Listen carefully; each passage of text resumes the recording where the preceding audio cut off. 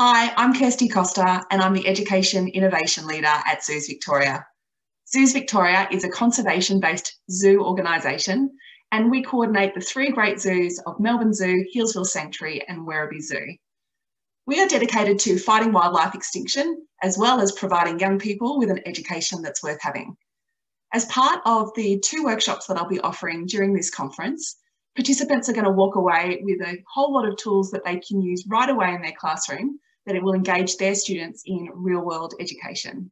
The first workshop, participants are going to be focusing in on STEM and design thinking.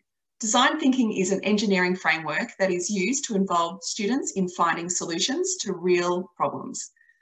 In this workshop, we're going to run a design thinking sprint where participants are going to use their design thinking skills to design a new uh, habitat for a zoo animal. As part of that sprint, we're going to look at how we can link to different areas of the STEM curriculum and participants will walk away with a toolkit of resources that they can use right away. In the other workshop that I'll be running, this focuses in on science and ethics. Teaching the ethical capability, especially in the younger years, can be really challenging. And part of this can be focusing in on animals as a solution to find that real world education in your curriculum.